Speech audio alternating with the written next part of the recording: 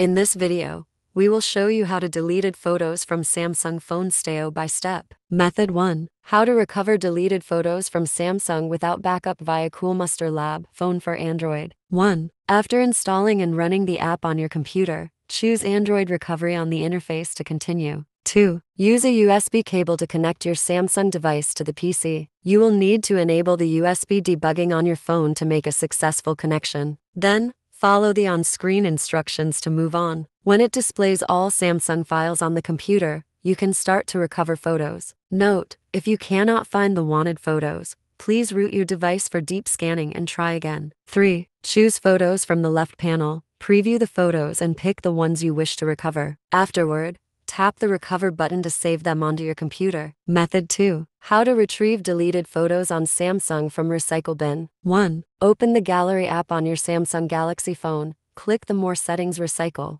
Bin or Trash option. 2. If there are deleted photos there, tap the desired photos and hit the Restore button to restore them to your phone. Note, if you cannot find a recycle bin or deleted photos in the Photos app, you can try other methods to get them back. Method 3. How to restore pictures on Samsung with Google Photos. If you have enabled the automatic backup option from the app before losing photos, you can retrieve the deleted photos on Samsung via Google Photos Backup. 1. On your Samsung phone, open the Google Photos app and press the menu button in the top right corner. 2. Tap Trash on the left side, press and hold the photos you want to restore and click the recover button. Note that the deleted photos in the trash folder only keep for 30 days. Therefore, you need to recover them before expiry. Method 4. How to find deleted photos on Samsung via Samsung Cloud. If you have made a backup of photos to the Samsung Cloud previously, you can quickly get them back from the Cloud Recycle Bin folder within 15 days. 1. Open the Samsung Cloud web version on your computer and sign in with the same Samsung account that you use on your phone.